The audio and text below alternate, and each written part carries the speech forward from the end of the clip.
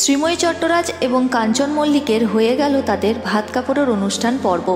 শ্রীময়ীর ভাত কাপড়ের দায়িত্ব নিয়ে নিলেন অভিনেতা কাঞ্চন মল্লিক। ভাত কাপড়ের অনুষ্ঠানের দিন সকালবেলায় শ্রীময়ীকে দেখা গেল লাল রঙের শাড়িতে গায়ে রয়েছে তার সোনার গয়না। তার সঙ্গে ম্যাচিং করে পাঞ্জাবি পরেছিলেন অভিনেতা কাঞ্চন মল্লিক।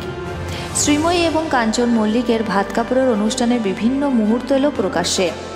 এদিন দেখা গেল শ্রীময়ীকে উপহার দিতে কাঞ্চন মল্লিককে। কাঞ্চন মল্লিক তার স্ত্রী শ্রীময়ীকে দিলে নোয়া বাঁধানো। তার সাথে দেখা গেল পরিবারের সবার সঙ্গে ছবিও তুলে নিতে কাঞ্চন এবং শ্রীময়ীকে। শ্রীময়ী তার ভাত কাপড়ের অনুষ্ঠানের সমস্ত মুহূর্ত শেয়ার করে লিখেছেন। ভাত কাপড়ের দায়িত্ব নিলেন বর।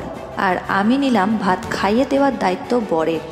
দেখা গেল খেতে বসার সময় ভালোবেসে যত্ন করে নিজের হাতে খাইয়ে দিলেন শ্রীময়ী চট্টরাজ কাঞ্চন মল্লিককে।